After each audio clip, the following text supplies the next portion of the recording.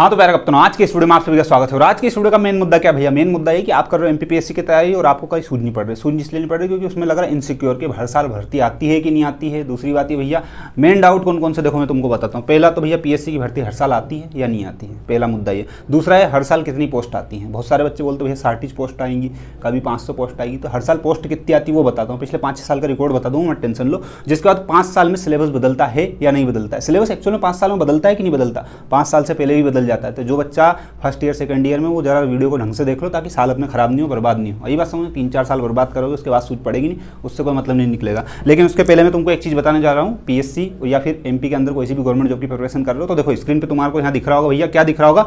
PW के बारे में जानकारी देने वाला हूँ। सर्व सक्षम two point zero batch MPSC foundation दो हज़ार पच्चीस। अगर आप इसको ज्वाइन करना चाहते हैं तो इसकी फ़ीस वैसे दस हज़ार है, लेकिन तीन हज़ार नौ निन्यानवे में आपको मिल जाएगा। और रही बात इसमें और डिस्काउंट की तो अगर आप मेरा कूपन कोड जो कि डिस्क्रिप्शन पे और स्क्रीन पे दिख रहा है, अगर इसका भी यूज़ करते हैं तो पाँच सौ रुपये और कम हो जाएँगे आपके। यही बात समझ में दूसरी बात भैया, सर्व सुरक्षा बेच जिसमें क्या है, मध्य प्रदेश वन रक्षक, जेल पहरी, क्षेत्र रक्षक एमपीपीएससी बेच 2024 ठीक है 2024-25 इसमें क्या है, नौ सौ निन्यानवे में आपको ये बेच मिल जाएगा। इसके अलावा क्या भैया एमपीपीएससी स्पेशल बेच 2024 जो भी आपको नौ सौ निन्यानवे में मिल जाएगा, जबकि इसकी प्राइस कितनी है, तीन हज़ार से ज़्यादा है। इसके अलावा क्या होता है एमपीपीएससी 2024 मेंस टेस्ट सीरीज़ आपको मिल जाएगी, जो कि नौ सौ निन्यानवे में और एक चीज़ और मैं बता दूँ, इन सब के लिंक आपको डिस्क्रिप्शन में तो मिल ही जाएँगे प्लस वहाँ पे एक मेरा वो कोड रहता है जो कोड है, वो भी मिल जाएगा। वो अगर आप लगाओगे तो पाँच सौ रुपये का और डिस्काउंट मिल जाएगा। आई बात समझ में? अगर आपको लगता है उचित है आपकी जो भी सपना है पी एस में सिलेक्ट होने का, उसमें अगर ये योगदान कर सकता है तो बिल्कुल आप जुड़िए, कोई दिक्कत नहीं है। ठीक है, बाकी मेन मुद्दे की बात भैया, तुम ये बताओ, प्रचार प्रसार बाद में करना, पहले ये बताओ कि सिलेबस हर साल चेंज होता है कि नहीं होता है? पीएससी की भर्ती हर साल आती कि नहीं आती? तो देखो, मैं तुमको बताता हूँ। पिछले पाँच साल का रिकॉर्ड बताता हूँ, पाँच साल का क्या कभी कभी उठा देख लो। जो बच्चा ऐसा कंफ्यूजन में बिगनर उसको बता रहा हूँ स्पेशली पीएससी की भर्ती हर साल आती है और उसका क्या सिस्टम है? हर साल मतलब ऐसा रहता है साल भर देखने को नहीं मिलेगी, लेकिन तीस, इकतीस तारीख दिसंबर, बिल्कुल दिसंबर मतलब साल खत्म होने में सिर्फ़ एक दो दिन बचते जब इनका नोटिफिकेशन आ जाता है। दो साल तो ऐसा हुआ कि तीस, इकतीस तारीख को ही इनके वो नोटिफिकेशन आए हैं, तीस तारीख को आया कि भैया पीएससी भर्ती ले रहा है। आई बात समझ में, ऐसा क्यों होता है? क्योंकि इसमें एक टर्म यूज़ होता है ज़ीरो ईयर ठीक है? तो पीएससी का ये रूल है भैया कि ज़ीरो ईयर नहीं होने देंगे। इस साल नोटिफिकेशन आया है मतलब मान लीजिए कि 2024 चल रहा है तो दिसंबर 2024 में मतलब दिसंबर खत्म होने वाला था जब नोटिफिकेशन आता है इसका। भले उसकी एग्ज़ाम 25 में लेंगे 26 में लेंगे 27 में लेंगे, लेकिन इस 2024 की एग्ज़ाम ज़रूर होगी। फिर 25 की भी होगी 26 की भी होगी। तो पीएससी में जो बच्चा ऐसा इनसिक्योर फील करता है, हर साल भर्ती निकलेगी कि नहीं निकलेगी, हर साल एग्ज़ाम होगी कि नहीं होगी तो एग्ज़ाम हर साल हो ना हो, इस बात की कोई गारंटी नहीं, लेकिन हर साल उसका नोटिफिकेशन आएगा पोस्ट आएगी, सारी चीज़ होगी। अब मान लो चौबीस की भर्ती है तो चौबीस की भर्ती भले पच्चीस, छब्बीस, सत्ताईस, अट्ठाईस में हो, लेकिन चौबीस में भर्ती होंगे बच्चे। आई बात समझ में? जैसे 19 2019 और 20 में क्या हुआ था? 2019 में जिन लोगों ने फॉर्म भरा, जो लोग सिलेक्ट हो गए, उनका रिज़ल्ट काफ़ी डिले हुआ, सारी चीज़ रापट टोले हुए, और उनका 2020 में भी उन्होंने फॉर्म भरा। 2020 में भी वो सिलेक्ट हो गए, वो डिप्टी कलेक्टर बन गए। लेकिन 2019 का रिज़ल्ट 2020 में जो डिप्टी कलेक्टर बन चुके हैं ऑलरेडी उनका वो बन गए बीस में, लेकिन उसके बाद उन्नीस का रिज़ल्ट बाद में आया। मतलब जो पहले होनी थी, पहले हुई थी वो एग्ज़ाम उसका रिज़ल्ट बाद में आया। तो व्यक्ति क्या हुआ? दोनों जगह डी एस डिप्टी कलेक्टर बन गए। बीस में बन गए, उन्नीस में बन गए। तो ऐसा होता है तो हर साल वैकेंसी तो आती है। चाहे कुछ भी हो जाए ज़ीरो ईयर कभी नहीं होता है। ये मैक्सिमम टाइम यही हुआ है कि ज़ीरो ईयर नहीं हुआ अब तुम्हारे किस्मत, तुमने आप इतने कर दे कि तुम्हारे टाइम पे वैकेंसी ही नहीं है तो उसमें कुछ नहीं कर सकते। लेकिन मोटा मोटा कह सकते कि हर साल वैकेंसी आएगी भैया, सीधी बात है। दूसरा मुद्दा क्या है? दूसरा ये, हर साल कितने पोस्ट आती हैं? कितनी पोस्ट आती है हर साल? मैं एक मोटा मोटा आंकड़ा बता देता हूँ। बेसिकली जो देखा जाए, दो सौ तीस से लेकर मतलब ढाई पोस्ट का एक एवरेज मान के चलो। ढाई सौ पोस्ट हर साल आती ही आती है, लेकिन अभी हम कहना, भैया, अभी तो एक सौ दस ही आई, साठ ही आई थी, वो तो बाद में बढ़ गई। ठीक है तो एक सौ दस ही पोस्ट आई। तो ये पहली बार ऐसा हुआ कितनी कम पोस्ट आई है, क्योंकि इसके पहले जब अभी आई थी ना भर्ती, जब चार सौ, साढ़े चार सौ पोस्ट आ गई थी। आई बात समझ में? तो ऐसा सिस्टम रहता है, लेकिन मोटा मोटा पकड़ सकते हो कि 200 से 250 पद हर साल आते आते हैं, कभी ज़्यादा, कभी कम, और ये मैक्सिमम टाइम देखा गया कि जब भी पद आते हैं, उसके बाद उसको बढ़ाया जाता है।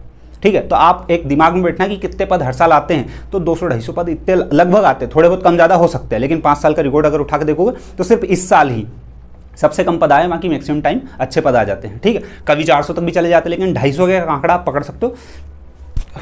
हटे 200 से 250 के पद लगभग आते हैं, ठीक है। इसके अलावा क्या भैया, पाँच साल में सिलेबस बदलता है। बिल्कुल नहीं बदलता पाँच साल में। सिलेबस ज़रूरी नहीं कि पाँच साल में बदले। पाँच छः में, सात में, आठ में, नौ में, दस में, कभी बदल सकता है लेकिन एवरेज अभी तक का अगर देखें पिछले कुछ सालों का तो पाँच साल में बदलता है जैसे अभी की बात करें तो अभी पाँच साल भी नहीं लिए, चार साल में ही बदल दिया। कैसे बदल दिया?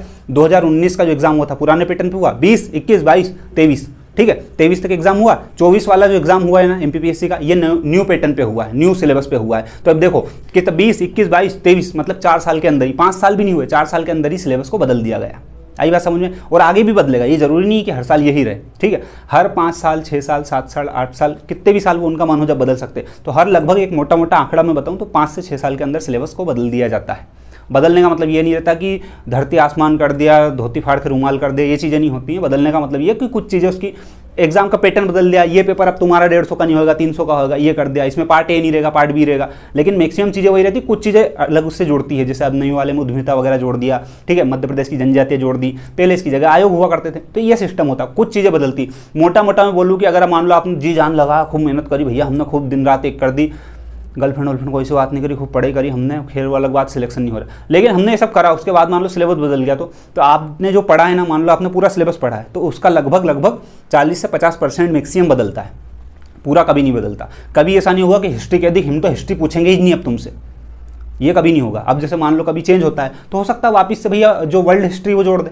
अभी तक क्या है? भारत का प्राचीन मध्यकालीन आधुनिक है वर्ल्ड हिस्ट्री नहीं है अपने सिलेबस में एमपीपीएससी के। तो वापस वो जोड़ दे। ऐसा हो सकता है। आई बात समझ में? तो ये मोटा मोटा है भैया, सिलेबस बदलता है तो सब्जेक्ट रहता है, लेकिन सब्जेक्ट में कुछ चीज़ हटाई जाती, कुछ चीज़ जोड़ी जाती, ये होता है। तो मोटा मोटा चालीस परसेंट सिलेबस, पचास परसेंट सिलेबस बदलता है। कभी ऐसा नहीं होगा कि बिल्कुल धोती फाड़ कर रुमाल ही कर दिया, नई सिलेबस बना दिया, उनने कि अब ये पूछेंगे ही नहीं तुमसे। हिस्ट्री बंद, आज से कुछ क्या चाइना की हिस्ट्री पूछेंगे? ऐसा कभी नहीं होता।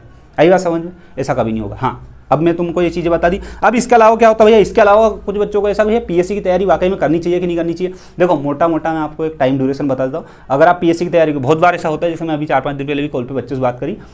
अरे भैया, हमारे घर वालों ने दो साल ही दिया। दो साल में कुछ नहीं होना है। डेढ़ साल मिनिमम डेढ़ साल के अंदर तुम्हारा सिलेबस कंप्लीट होगा। डेढ़ साल चाहिए ही चाहिए। तुम भले कितनी बड़ी बल्लम उससे कोई फ़र्क नहीं पड़ता। अगर तुम पीएससी की तैयारी स्टार्ट कर रहे हो, तुम्हारा आर्ट्स बैकग्राउंड नहीं था, या तुमको हिस्ट्री पॉलिटी जियोग्राफी इकोनॉमी फलाना ढिकाना की समझ ज़्यादा नहीं है, डेढ़ साल मोटा मोटा तुम्हारा लगेगा ही लगेगा सिलेबस कंप्लीट करने में।